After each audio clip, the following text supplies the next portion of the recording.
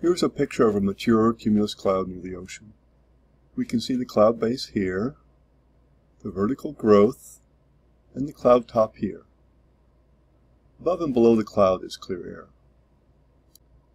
We can imagine what temperature and dew point a radiosonde would record if we were to launch one from below the cloud. Initially, we would see a temperature decrease, probably close to the dry adiabatic lapse rate of 10 degrees C per kilometer.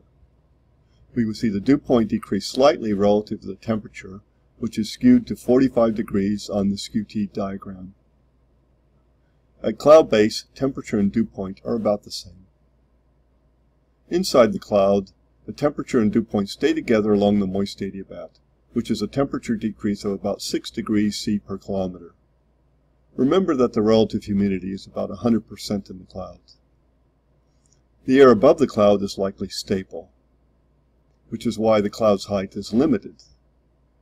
Stable air has a lapse rate that is less than the adiabatic, dry adiabatic lapse rate. In addition, the dew point likely drops off because the middle to upper troposphere tends to be drier than the lower troposphere. When you look at an upper Earth sounding, you can often pick out where the clouds are by looking at where the temperature and dew point get close together.